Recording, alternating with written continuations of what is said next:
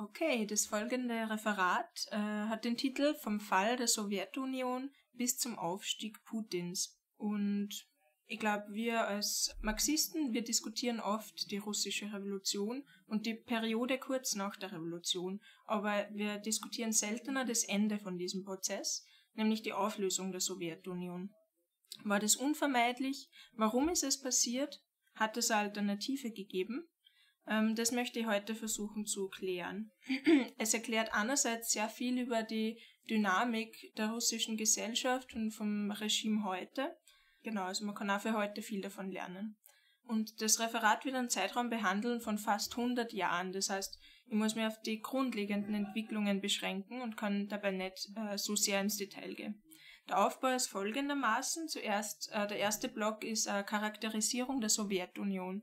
Äh, der zweite Teil äh, widmet sich Gorbatschow, Jelzin und dem Zusammenbruch. Und drittens geht es um den Aufstieg Putins und das Putin-Regime. Okay, also zum ersten Teil der Charakter der Sowjetunion. Wir beginnen 1917, dem Jahr der russischen Revolution. Vor 105 Jahren ist die Welt äh, durch das wichtigste Ereignis der bisherigen Menschheitsgeschichte erschüttert worden. In einem riesigen Gebiet, nämlich am Sechstler Erdoberfläche, ist ein System gestürzt worden, wo bisher der russische Despotismus irgendwie geherrscht hat, durch Knute und Pogrom äh, regiert. Ähm, und die Arbeiter, die armen Bauern und die Soldaten haben dieses jahrhundertealte Zarenregime zu Fall gebracht. In einem Zeitraum von acht Monaten, von Februar bis Oktober, sind sie immer wieder massenhaft auf die Straße gegangen, um die Geschichte dem Willen der ausgebeuteten Massen unterzuordnen. Sie haben den Zar und die Großgrundbesitzer vertrieben, die Generäle, die Kapitalisten und die Bürokraten. Und sie haben sie organisiert in dem demokratischsten System, das die Geschichte bisher hervorgebracht hat, nämlich die Sowjets, also die Räte, der Arbeiter, Bauern und Soldatenvertreter. Sie sind in den Fabriken und Vierteln direkt gewählt worden, mit jederzeitiger Abwählbarkeit und die haben dann auch die Staatsmacht übernommen. Die Wirtschaft ist einem bewussten Plan unterworfen worden, erstmals, anstatt vom individuellen Profit und den blinden Marktkräften geleitet zu werden.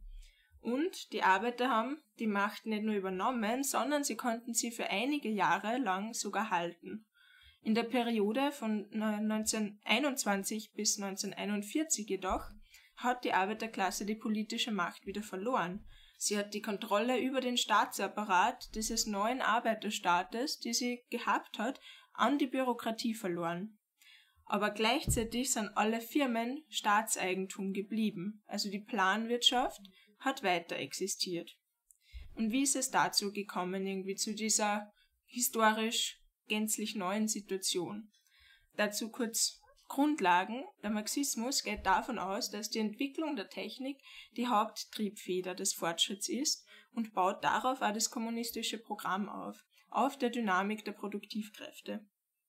Der Sozialismus muss damit auch, verglichen mit dem Kapitalismus, die Arbeitsproduktivität erhöhen, weil die materielle Fortsetzung für den Kommunismus eine so hohe Entwicklung der ökonomischen Macht des Menschen ist, dass die produktive Arbeit aufhört, Last und Mühsal zu sein und dass es, wie Marx schreibt, keiner Antreiberei mehr bedarf und dass halt alle Güter, alle Lebensgüter in ständig im Überfluss vorhanden sind und deren Verteilung keiner Kontrolle mehr bedarf, außer der Erziehung, der Gewohnheit und der öffentlichen Meinung. Das heißt, äh, der Sozialismus hat ein gewisses ökonomisches und kulturelles Niveau zur Voraussetzung. Und eben das war in Russland zur Zeit der, Russ also der Revolution nicht gegeben. Und das ist deutlich geworden, als man zum Beispiel nach der Revolution Beamte gesucht hat für diesen neuen Arbeiterstaat. Ähm, der Großteil der russischen Bevölkerung war 1917 Analphabeten. Deswegen hat man die Bürokraten vom alten Staatsapparat irgendwie in den Dienst nehmen müssen, die alten Buchhalter, Offiziere und Beamten. Und die bilden die Grundlage für die Bürokratie, für die äh, entstehende Bürokratie. Nicht die Revolutionäre, nicht die Bolschewiki, sondern die alten Menschewiki, die zaristischen Beamte, die eigentlich alle gegen die Revolution gewesen waren. Weiters ähm, hat es eine extreme wirtschaftliche Not gegeben, was bedeutet, dass die Arbeiter sehr lange arbeiten mussten und es ihnen so nicht möglich war, sich an der Verwaltung der Gesellschaft zu beteiligen. Auch deshalb äh, ist die Arbeitszeitverkürzung äh, im Sozialismus so eine zentrale Angelegenheit, damit den Arbeitern ermöglicht wird, sich an der administrativen Verwaltung zu beteiligen und so bürokratische Tendenzen im Keim zu verhindern. Also zusammenfassend kann man sagen, dass die Bürokratie ihre Grundlage in der ökonomischen Rückständigkeit und im Mangel hat. Um das zu veranschaulichen, hat äh, Trotzki das Beispiel einer Bäckerei entwickelt. Also wenn eine Bäckerei zu wenig Brot hat, dann bildet sie eine Schlange vor der Bäckerei. Und wenn der Mangel sehr groß ist und die Schlange sehr lang, dann braucht es einen Polizisten, um Ausschreitungen und Rangeleien zu verhindern. Und der Polizist ist in dem Beispiel die Bürokratie, also eine privilegierte Minderheit, die quasi abgesondert ist, um den Mangel zu verwalten. Das heißt, um die Güter, von denen immer zu wenig da sind, an die Leute zu verteilen. Ähm, und in dieser Zeit drängten Hunderttausende Bürokraten und Karrieristen in die Partei, in die kommunistische Partei, äh, und die haben immer mehr den Ton angegeben äh, und schlussendlich in Stalin ihren besten Vertreter gefunden. Das Einzige, was diesen Prozess aufhalten hätte können, wäre die internationale Revolution, was auch immer die Perspektive von Lenin und Trotzki war. Ähm, aber die, also dass quasi die russische Revolution nur bestehen kann, äh, wann ihr die internationale Revolution nachfolgt, vor allem in Deutschland. Aber gerade in Deutschland, dem Schlüsselland, wurde sie von der Sozialdemokratie äh, verraten. Und mit jedem Sieg der Konterrevolution folgte eine Stärkung der Bürokratie, äh, weil eben die Sowjetunion noch weiter isoliert wurde.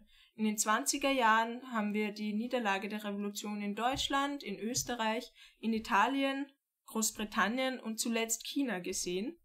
Daraufhin folgte der Ausschluss Trotzkis und der linken Opposition aus der Partei.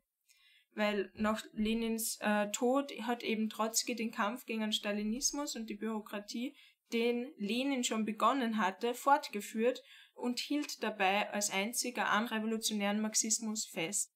Dann haben wir die Niederlage der Spanischen Revolution, den ersten bewussten Verrat der Stalinisten an der Revolution. Dem folgten die Moskauer Prozesse, äh, wo Hunderttausende Revolutionäre durch den Stalinismus ermordet wurden. Das ging einher mit der Zerstörung der Sowjetdemokratie und der Abkehr äh, von der internationalen Revolution. Äh, jetzt werde ich ein bisschen über die Planwirtschaft reden. Und zwar waren die Wachstumsraten in, der, in diesen Jahren in der Sowjetunion, also der, der Konsolidierung irgendwie vom Stalinismus, waren beeindruckend. Aber man muss sagen, nicht wegen, sondern trotz der stalinistischen Bürokratie, die durch Korruption und Misswirtschaft ständig die Entwicklung behinderte. Innerhalb von wenigen Jahrzehnten wurde Russland auf der Basis der verstaatlichten Planwirtschaft ko komplett transformiert. Von einem rückständigen halbfeudalen Land basierend auf Landwirtschaft zur zweitstärksten Wirtschaft der Welt mit einer starken Industrie. Während der ersten fünf Jahrespläne hat der Arbeiterstaat Wachstumsraten von um die 20 Prozent jährlich gesehen und noch äh, während der 50er und 60er Jahre jährlich circa 6 Prozent. Äh, aber nur ein paar weitere Zahlen, was die Planwirtschaft alles erreicht hat. 1917 hat Russland weniger als 3 Prozent vom gesamten Industrieoutput äh, produziert.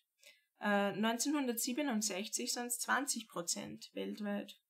Die Bevölkerung ist in der Zeit um 15 Prozent gewachsen. Die Zahl jener, die sich in Ausbildung befinden, hat sich versechsfacht. Die Zahl von gedruckten Büchern verdreizehnfacht. Die Spitalsbetten verzehnfacht. Die Lebenserwartung hat sich fast verdoppelt und die Kindersterblichkeit ist um das Neunfache zurückgegangen. Die UdSSR hat im Jahr 1967 mehr Wissenschaftler, Techniker und Ingenieure ausgebildet als der gesamte Rest der Welt zusammen.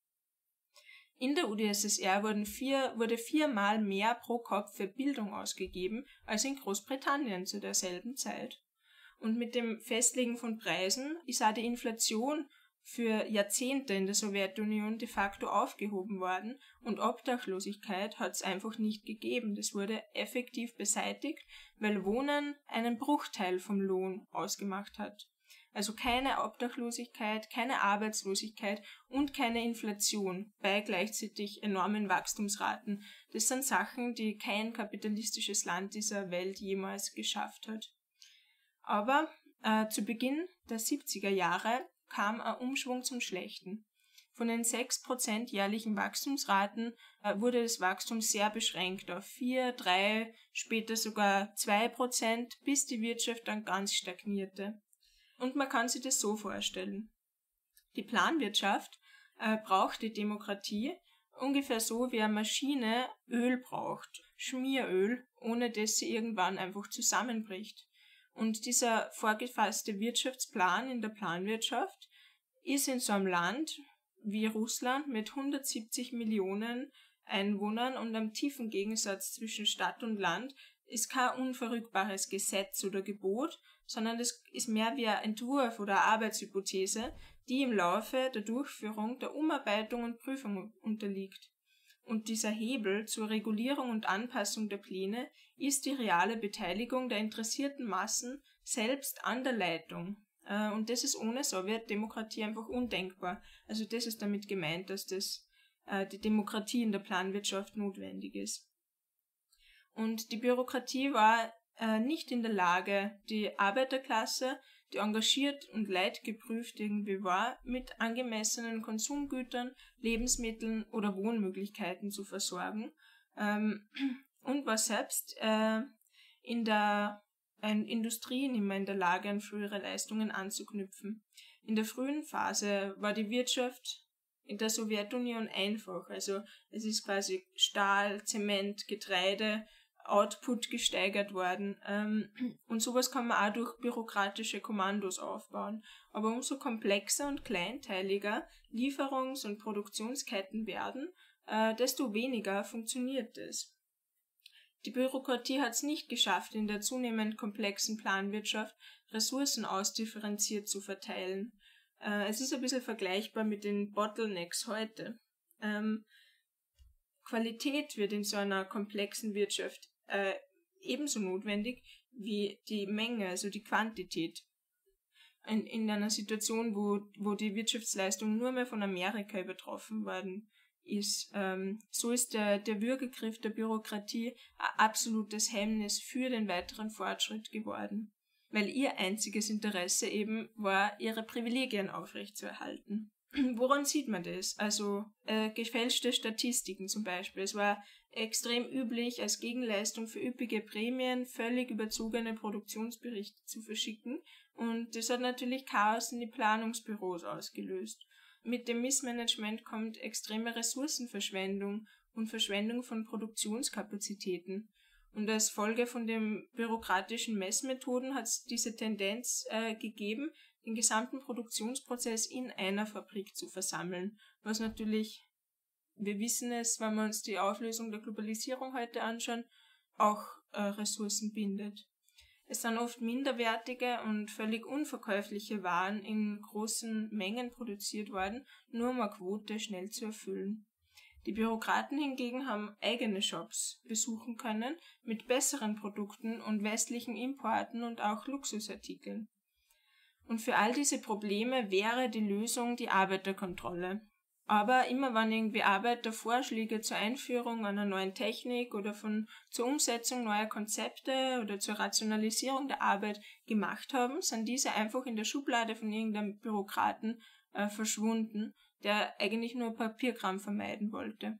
Also die, der einzige Teil, der wirklich ein unmittelbares Interesse am Fortschritt der Wirtschaft hatte und da die Möglichkeit, äh, sich einzubringen, die Arbeiter, ähm, wurden auf Distanz zum Management gehalten, aus der berechtigten Angst heraus, dass sie die überzogenen Gehälter äh, und Boni äh, der Bürokraten in Frage stellen konnten. Es ist aber trotzdem passiert, und zwar in den 80er Jahren. Die äh, herrschende Elite und ihre Kinder, die schon als Bürokraten quasi geboren wurden, kamen immer mehr unter den Einfluss des Kapitalismus je mehr sie sich vom normalen Leben in der Sowjetunion distanzierten. Sie lebten getrennt von den Arbeitern, äh, hatten zum Beispiel auch äh, Dienstboten zur persönlichen Bedienung und näherten sich im Lebensstil und dem Denken immer mehr der Bourgeoisie an. wenn man sich das anschaut, dann sieht man ein sehr widersprüchliches Bild der Sowjetgesellschaft. Es war quasi ein Übergangsregime, das geprägt ist einerseits durch diesen enormen Anstoß durch die Planwirtschaft und den totalitären Schatten, den das Überleben vom Kapitalismus im Westen auf ihn wirft. Und dieser Widerspruch zwischen einerseits den verstaatlichten Eigentumsformen, also der Planwirtschaft, und den Verteilungsnormen, also der extremen Ungleichheit in der Verteilung, kann nicht ewig weiter wachsen. Äh, entweder werden die bürgerlichen Normen äh, der Verteilung auch auf die Produktionsmittel übergreifen, das heißt Widerstehen des Kapitalismus, oder es müssen die Verteilungsnormen mit dem sozialistischen Eigentum in Einklang gebracht werden. Damit sind wir irgendwie vor den historischen Alternativen, die sich für die Sowjetunion ergeben, die Wiederherstellung des Kapitalismus oder die politische Revolution, das heißt äh, die Niederringung der Bürokratie durch das Proletariat und dessen revolutionäre Partei. Trotzki hat es in den 30er Jahren vorausgesagt, dass die Bürokratie selbst ein Interesse an der Wiederherstellung des Kapitalismus entwickelt. Woran liegt es? Die Bürokraten ähm, sind eben Verwalter und nicht Besitzer der Produktionsmittel und ähm, konnten den Anspruch darauf somit nicht vererben. Um ihre eigene Position und die ihrer Nachkommen zu sichern, mussten sie sich quasi in eine besitzende Klasse verwandeln. Und die Vorhersage trat mit der Verspätung einiger Jahrzehnte ein. Jetzt sind wir beim äh, zweiten Teil vom Referat angekommen, nämlich Gorbatschow, Jelzin und der Zusammenbruch. Das äh, deckt den Zeitraum von 1985 bis äh, 98 ab. Gorbatschow äh, wurde 1985 der Generalsekretär des Zentralkomitees der Kommunistischen Partei der Sowjetunion. Und er repräsentiert den Versuch der Bürokratie, die Probleme, äh, die existierten, durch eine Reform von oben zu lösen. Er hat über Arbeiterkontrolle und Demokratie gesprochen. Aber man kann nicht einfach Arbeiterkontrolle und Demokratie einführen, ohne in einer politischen Revolution die Bürokratie zu stürzen. Das ist das fundamentale Problem. Aber eine politische Revolution war natürlich nichts, was Gorbatschow oder jemand anderer, aus, der aus der Spitze der Bürokratie kam, bereit war zu machen ähm, in der Wahl zwischen Arbeiterkontrolle und Sozialismus oder der Wiederherstellung des Kapitalismus bevorzugten sie zweiteres. Aber diese Alternativen waren der Bürokratie selbst zu Beginn nicht klar. Sie haben manövriert, äh, verschiedene Dinge ausprobiert, um die Probleme zu lösen, hatten aber keinen bewussten Plan. Die fundamentale Schwäche in Gorbatschows Position war, dass er versuchte, eine größere Initiative und Produktivität der Arbeiter zu erreichen, während er gleichzeitig die Privilegien und Vorteile der äh, Bürokratie verteidigte. Das ist die Quadratur des Kreises. Es führt quasi zu so Sachen wie die Bürokratie zu attackieren, ähm, was Gorbatschow oft gemacht hat, aber gleichzeitig sie zu verteidigen und ihre Existenz zu rechtfertigen. Zum Beispiel entließ er ca. 200.000 der korruptesten Beamten, was natürlich nur an der Oberfläche einer 19 Millionen Personen starken Bürokratie kratzte. Äh, aber er hat gleichzeitig betont, dass es verdiente Privilegien geben müsse. Nichtsdestotrotz haben damals extrem viele Linke Illusionen in Gorbatschow gehabt. Nicht nur Sozialdemokraten, sondern auch sogenannte Trotzkisten, weil er eben von Demokratie etc. gesprochen hat. Das ähm, Reformprogramm Perestroika äh, oder Katastroika, wie es die Sowjetarbeiter umbenannten, hat für die Arbeiter schlechtere Arbeits- und Lebensbedingungen gebracht. Also längere Arbeitszeiten, westliche Managementmethoden, um mehr Produktivität aus den Arbeitern rauszuquetschen. Aber ähm, bürokratisches Missmanagement und Korruption sind nach einer kurzfristigen Besserung immer sogar noch schlimmer zurückgekehrt. Ähm, zu einem gewissen Punkt war der Schwarzmarkt die Hauptquelle für Rohstoffe und alle Produkte, also auch für die Shops und für Industrie, ähm, anstatt der offiziellen Kanäle. Das ging so weit, dass in den 90ern die Situation unhaltbar wurde. 70 Millionen Menschen lebten von der Sozialleistung. Es kam zu einem Bergarbeiterstreik, bei dem sich 300.000 äh, beteiligten. Bei einer Umfrage in der Zeit haben äh, nur 15 bis 20 Prozent der russischen Bevölkerung angegeben, dass sie an den Sozialismus glauben. Äh, die Bevölkerung war also komplett demoralisiert, also das ist ein wirkliches Armutszeugnis. Aber gleichzeitig wollten nur 25 Prozent eine Marktwirtschaft. Das heißt, die, auch die Wiederherstellung des Kapitalismus war nicht beliebt. 40 Prozent waren für mehr zentralisiertes Wirtschaftsmanagement in dieser Umfrage. Man kann also sagen, die Bevölkerung war ziemlich verwirrt. Aber zur gleichen Zeit wurde der Bürokratie oder zumindest einem Teil der Bürokratie klar, was sie wollte. Sie schauten in den Westen, in Richtung Kapitalismus als Lösung ihrer Probleme. Es begann ein Programm aus Sparmaßnahmen und Deregulierung unter Gorbatschow. Dieser Prozess gewinnt, angestoßen durch Glasnost und Perestroika, eine Eigendynamik. An dem Punkt äh, entsteht ein Spalt in der Bürokratie. Und Jelzin tritt irgendwie als Anführer des prokapitalistischen Flügels hervor. Wie, was war das für ein Typ? Heute würde man ihn einen Populisten nennen. Er hat eine Schwäche für große Gesten gehabt. Also nicht in der Limousine fahren, sondern am Markt mit den einfachen Leuten reden. Ähm, natürlich nur, wenn das Fernsehen dabei war. Ähm, er hat auf demagogische Art die Privilegien der Bürokratie attackiert und zum Beispiel, als er in Moskau äh, an der Macht war, den Schwarzmarkt verunmöglicht. Aber gleichzeitig hat er keine andere Möglichkeit äh, zur Bereitstellung von Rohstoffen und Produkten für Industrie und Handel äh, eingeführt, was die Situation nur schlimmer gemacht hat. Er kam in einer Zeit an die Macht, als das Planungsbüro vor einem wirtschaftlichen Zusammenbruch gewarnt hat. Jelzin war ungeduldig und wollte schnellere Reformen. 1941 äh, gewann er die Wahlen zum Vorsitzenden des russischen Ober obersten Sowjets äh, als einer der vielen Teilrepubliken der Sowjetunion. Und diese Position hat er genutzt, um seine Macht zu vergrößern. Ähm, entlang der Frage um die nationale Selbstbestimmung hat sie die Situation zugespitzt und geriet außer der Kontrolle von Gorbatschow. Hier entstand ein offener Kampf zwischen den beiden Fraktionen der Bürokratie, also äh, den alten Bürokraten oder sogenannten Hardlinern und den Prokapitalisten. Gorbatschow wollte einen neuen Vertrag für die Sowjetunion ausarbeiten, der die Union fast komplett aufgelöst hätte, beziehungsweise sie auf ein Minimum von zentraler Führung reduzierte.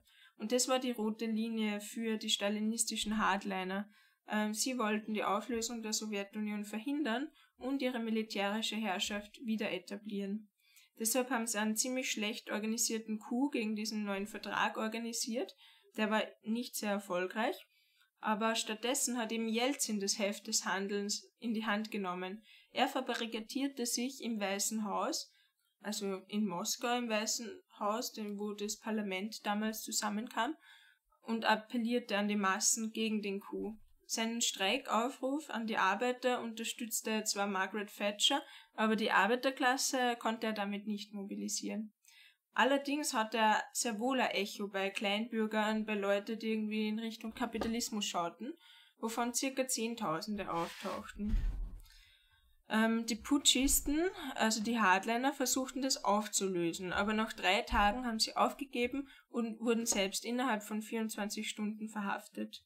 Dieser Mangel an Willen und Entschlossenheit, den man da sieht, reflektiert, dass diese Kuhführer keinerlei Vertrauen in ihre Alternative hatten. Wofür sie kämpften, war die Aufrechterhaltung des gescheiterten Status quo, nicht für den Sozialismus oder die Arbeiterdemokratie.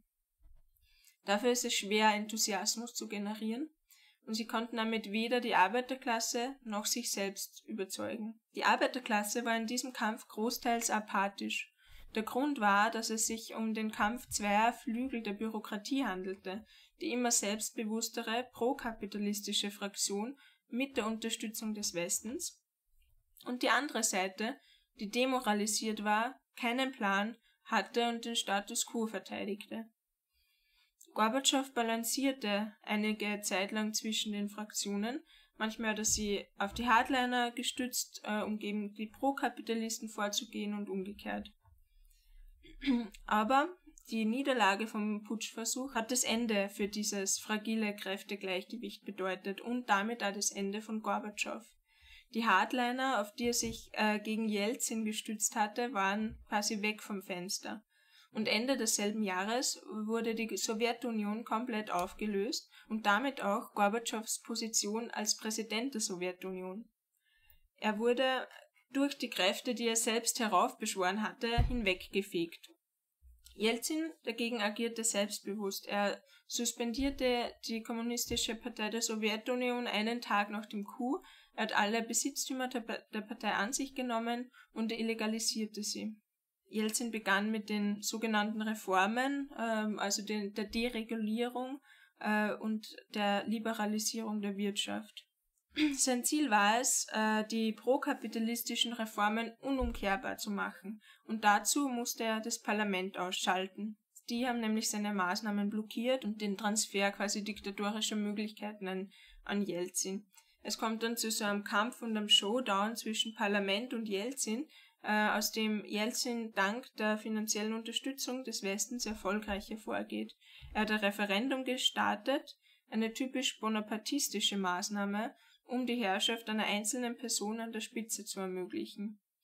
Ähm, er gewann das knapp mit der finanziellen Unterstützung des Westens von 42 Milliarden Dollar ähm, bei der Abhaltung des Referendums. Es gibt da Vorwürfe des Wahlbetrugs.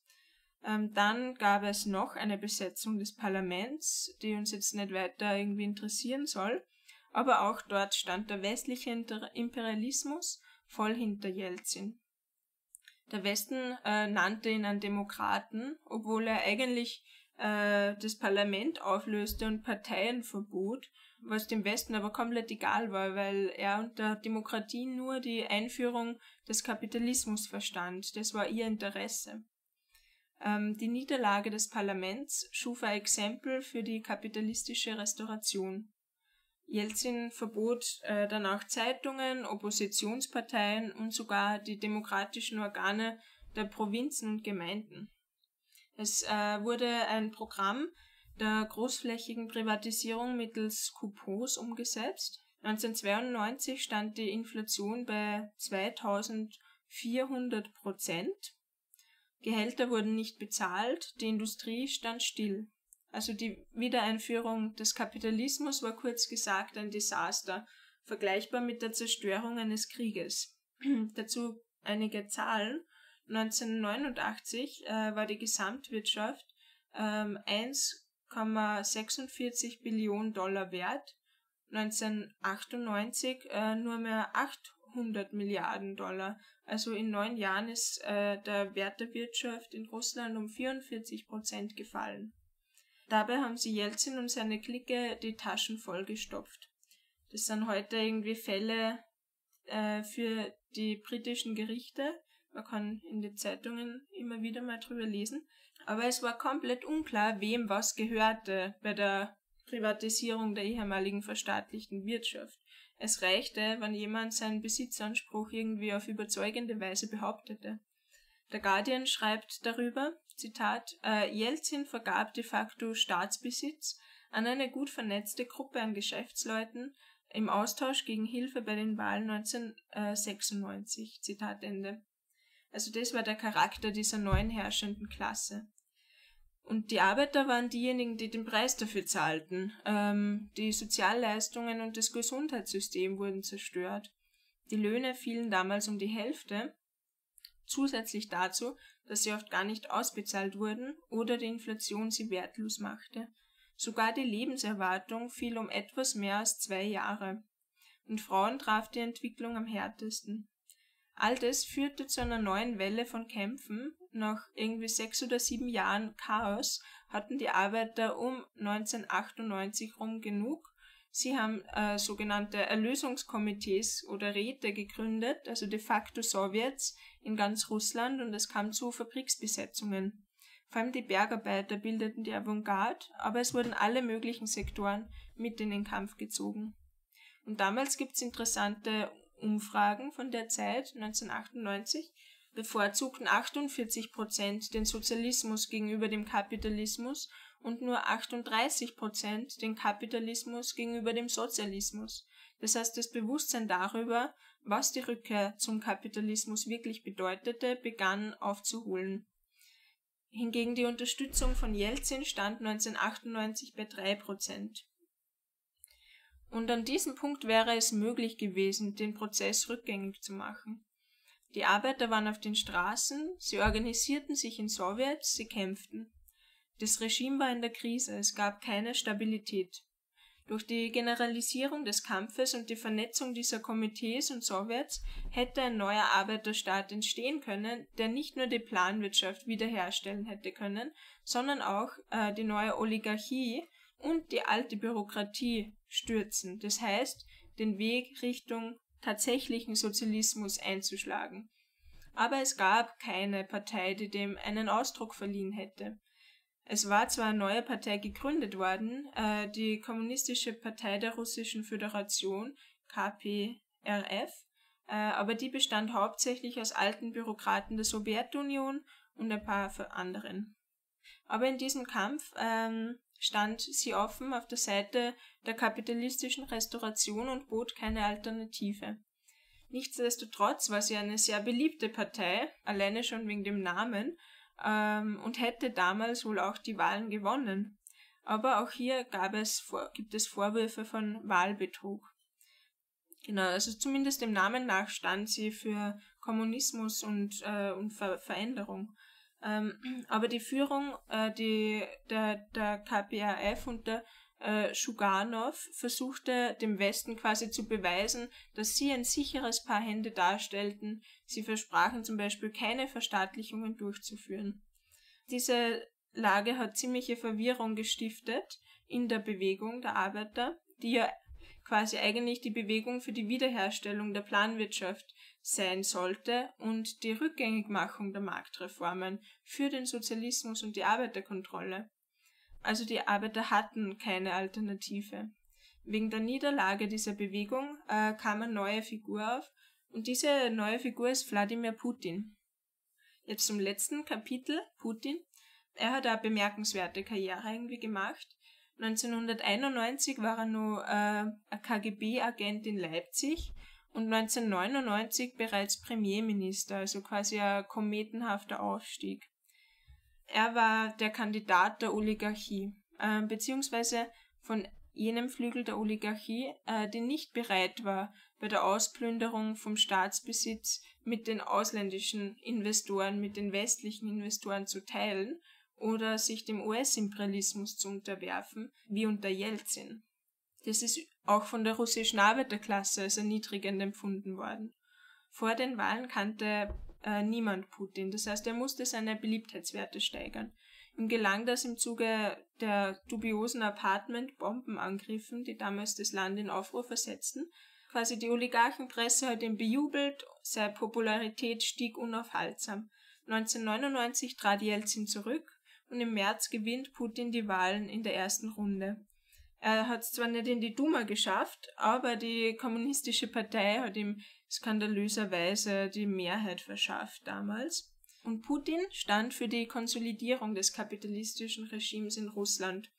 Er sah irgendwie, wie fragil die Besitzverhältnisse waren nach der kapitalistischen Restauration und erkannte, dass er eine sehr viel wichtigere Rolle spielen konnte, als nur die Marionette der Oligarchie zu sein. Der neue Kapitalismus in Russland war anders, äh, als sich die Oligarchie und übrigens auch der Westen, aber dazu später, sich das vorgestellt hatte. Als äh, Konsequenz daraus war Putin in der Lage, diejenigen, die sich seinen Spielregeln nicht unterwarfen, politisch auszuschalten und sogar ihr Eigentum zu konfiszieren. Äh, seitdem haben viele Oligarchen dieses Schicksal geteilt. Putin hat quasi ein bisschen aufgeräumt nach den Jelzin-Jahren und ähm, ließ einige Oligarchen verhaften, äh, lockerte ihren Griff auf die Medien und dadurch gelang es ihm, sich quasi auf Distanz zu diesen verha verhassten Oligarchen zu präsentieren, obwohl er natürlich im Ganzen ihr Interesse vertrat. Plus, Putin spielte schon immer sehr gekonnt auf dieser Klaviatur der Sowjetnostalgie. Zum Beispiel führte er die alte Sowjethymne mit neuen Text wieder ein. Äh, auf der anderen Seite war das Regime unter Putin natürlich gänzlich verschieden von der Sowjetunion und die russische Revolution wurde unter Putin nicht mehr erwähnt. Äh, vorher habe ich erwähnt, dass der Westen irgendwie falsche Vorstellungen über den neuen Kapitalismus in Russland hatte. Wie genau schaute das aus? Also der Westen hat fälschlicherweise angenommen, dass Russland als Kolonie des Westens in die globale Marktwirtschaft zurückkehren würde. Aber unter Putin erschien Russland auf der Weltbühne und wollte seine Einflusszonen wiedererobern, das heißt entlang der Grenzen vom alten Zarenreich. Anstatt äh, von einem schwachen halbkolonialen Regime entstand ein aggressiver Imperialismus mit ansehnlicher Industrie und einem starken Militär, was er von der, was beides irgendwie von der Sowjetunion ererbt wurde. Seinen ersten Ausdruck fand es im Tschetschenienkrieg äh, und später im Einmarsch in Georgien 2008 und dann im Sieg über die von der USA ausgestatteten und ausgebildeten georgischen Armee ähm, und schließlich dann 2014 im Einmarsch äh, in die Ukraine. Und nach der Krise in den 1990er Jahren kam es in den 2000ern äh, wieder zu einem Wirtschaftsaufschwung. Die Grundlage dafür war das Steigen der Ölpreise von 12 auf 60 Dollar pro Barrel bis zu 100 Dollar pro Barrel. Und für ein ölexportorientiertes Land wie Russland macht es natürlich einen ziemlichen Unterschied. Äh, die wirtschaftlichen Verhältnisse wurden im Vergleich zu den Jelzin-Jahren besser, ähm, was Putins relativ lang stabile Präsidentschaft erklärt. Die ökonomische Situation hat sie erst nach der Weltwirtschaftskrise 2008 immer mehr verdüstert. 2011, 2012 kam es erstmals zu Massenprotesten. Äh, aber Putin hat seine Berechtigung auch immer wieder aus äußeren Bedrohungen gezogen. Nach der Beteiligung im Bürgerkrieg mit der Ukraine 2014 ähm, hat der Westen Sanktionen äh, verhängt, was seine Putins Unterstützung im Land wieder auf ungeahnte Höhen getrieben hat, äh, auf bis zu 85 Prozent.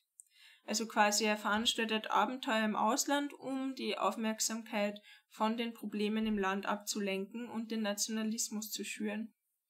Aber das ist natürlich ziemlich teuer und als Konsequenz hat Russland extrem hohe Militärausgaben. Was ist also die Natur des Putin-Regimes? Äh, Russland ist ein kapitalistisches Land. Es ist beherrscht von einer parasitären Oligarchie. Es ist klar, dass der Staat ihren Privatbesitz an Produktionsmitteln verteidigt. Das ist seine fundamentale Aufgabe. Die Oligarchie besitzt große Monopole und Banken, äh, die sie aus der Planwirtschaft geplündert hat. Diese Monopole verfügen über eine enge Verbindung zum Staat. Der Westen kann es sich im Gegensatz zu Russland leisten, diese Diktatur des Kapitals unter dem Schleier der bürgerlichen Demokratie zu verbergen. Der russische Staatsapparat ähm, wird heute, wie auch schon unter Jelzin, von einem starken Mann beherrscht. Das ist einerseits notwendig aus der Angst vor den Massen, andererseits braucht die Oligarchie jemanden, der in ihren Verteilungskämpfen ein Machtwort spricht. Putin setzt auf Referenda und Volksbefragungen zur Legitimisierung undemokratischer Manöver. Er übergeht das Parlament und am wichtigsten, er stützt sie auf die Herrschaft des Schwertes, also auf die Herrschaft durch Gewalt. Davon gibt es Dutzende Beispiele in Russland. Diese Art von Regime nennen Marxisten äh, Bonapartismus, also wie ich das jetzt beschrieben habe in äh, den letzten Minuten. Und charakteristisch dafür ist, dass der Staat ein gewisses Maß an Unabhängigkeit von der herrschenden Klasse erlangt und äh, scheinbar zwischen den Klassen balanciert und beiden Schlägen zufügt, also den Arbeitern und der Oligarchie. Er behauptet, über den Klassen zu stehen äh, und über den Interessensgruppen und die Nation zu vertreten. Putin hat zum Beispiel schon so Aktionen gemacht, wie einfach zu einer Fabrik zu gehen und das Nichtbezahlen von Löhnen und die Chefs irgendwie anzuklagen. De facto attackiert er aber nur einzelne Oligarchen, um die Oligarchie als Ganzes zu verteidigen. Ganz kurz nur ein paar Sätze irgendwie zur aktuellen Situation.